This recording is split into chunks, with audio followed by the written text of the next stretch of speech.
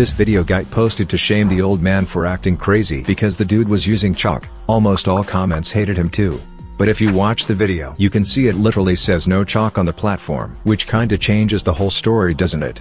Sure the guy was acting weird and should have just told the staff but if those are the rules that's how it is. Go to a different gym where it's allowed. For all we know the lifter has been warned before.